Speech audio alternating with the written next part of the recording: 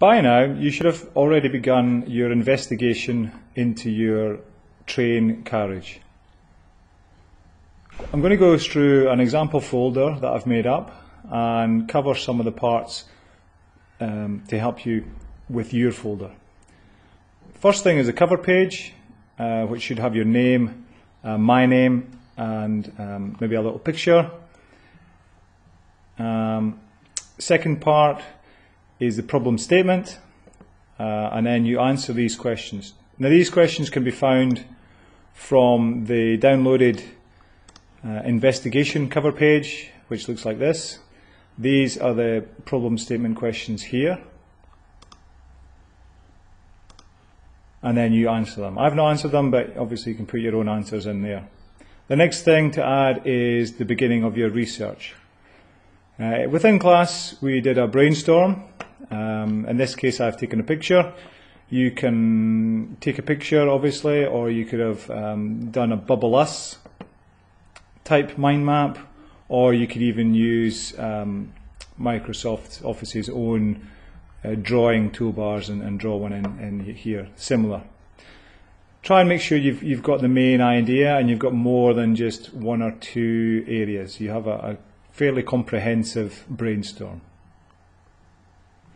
Following on from that, we looked at taking the brainstorm and then kind of putting them into certain categories or uh, subject areas.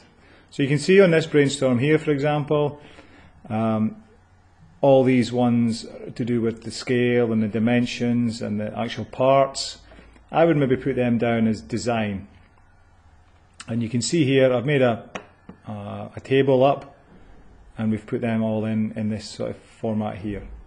Uh, there's some other ones here, uh, individual items, tools, materials, and the design cycle. From that, you choose overall four areas from this table and then begin to do some um, research and investigation into it. So I've chosen Inventor. Inventor is a, as a, a material, uh, sorry, a tool that you're going to be using up here. Uh, one of the main tools to design or help you design and, and model uh, the your final design. So there's a little bit of blurb about that. And also what's important is that um, this part here about why you've actually chosen it.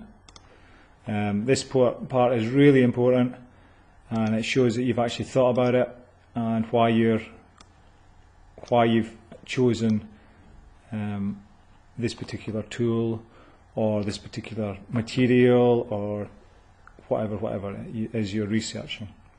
There you go, there's three others. So I've done one, there's three others needed. The next part is existing designs. So all I've done is gone to Google, picked up an image, inserted an image there from one of the websites, and written a positive and a negative comment about it. Again, it's in a table, so it's nice and easily laid out. And I would do the same at least four other, uh, at least three other times. So I've got four in total. Down there, and then after that, I move on to what's called the design specification and testing.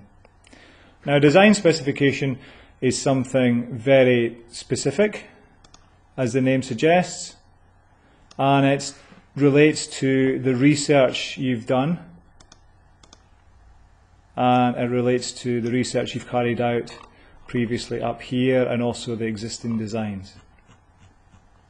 So for example, I've written down here, my carriage must carry at least 10 small sticks.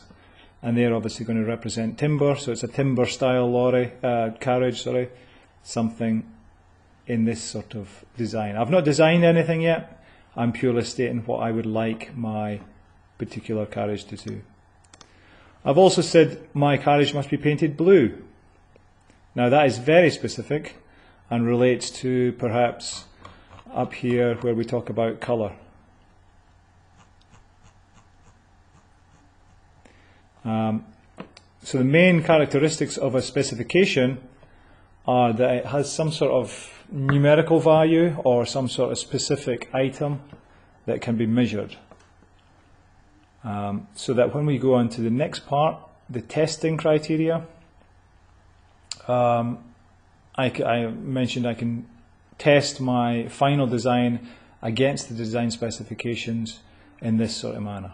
So for example, I can count the number of sticks that my carriage can hold, my carriage design can hold, um, and then I've said it has to be 10, must carry 10.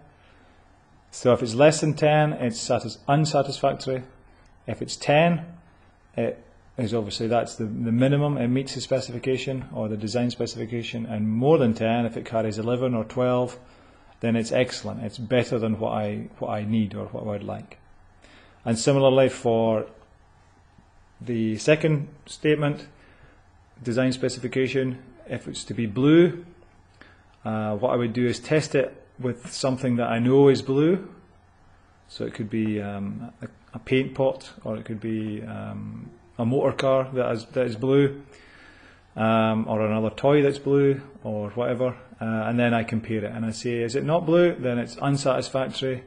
But if it's blue, then it obviously meets the specification. You can't really get an excellent or a, a better than blue. Is it blue or is it not blue, basically?